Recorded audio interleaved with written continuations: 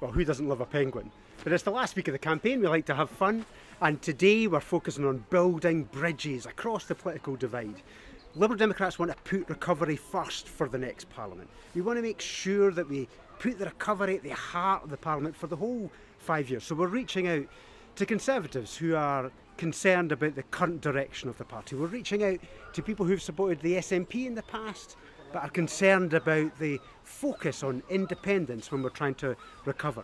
So if you want to build bridges, if you want to put recovery at the heart of the Parliament, then vote Liberal Democrat.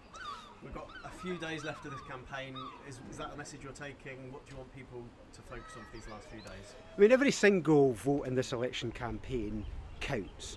Whatever corner of the country you're in, a Liberal Democrat vote will be to put recovery first. And it will count, it will make a difference. It will make a difference between the Parliament being dominated by independence or dominated by recovery. And that's exactly what it should be because we need to create jobs and opportunities. We need to deal with the NHS, cut mental health rates. We need to get bounce back support for education. Those should be the priorities for the Parliament, not more division with independence. We were uh, taking around the zoo this morning. Uh, what have you learned from your trip speaking to the uh, CEO of Edinburgh Zoo today? Uh, that penguins are very hungry and they need more food all the time and they should have a Liberal Democrat leader on hand to feed them at every single moment. But what I've learned today is about the conservation they work they do right across the globe, taking best practice from here in Edinburgh to all the countries and all the zoos across the world because it's really important we try and get the nature emergency at the heart of the work that we do in Edinburgh Zoo is at the heart of that too.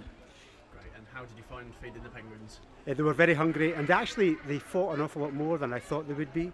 The, the emperor on the other side was having a good look over to see what the young pups were up to.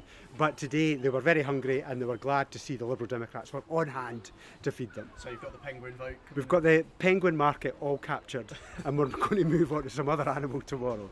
Good stuff. Thanks, Willie.